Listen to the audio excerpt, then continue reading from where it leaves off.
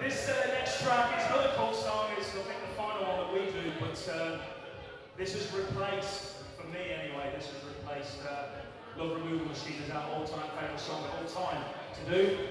It's a song called Peace Star.